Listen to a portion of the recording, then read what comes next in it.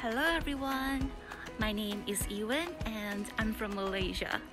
I'm a first year medical student at UCD and today I'm going to bring you to the Health Sciences Library and to show you my usual study routine. Let's go!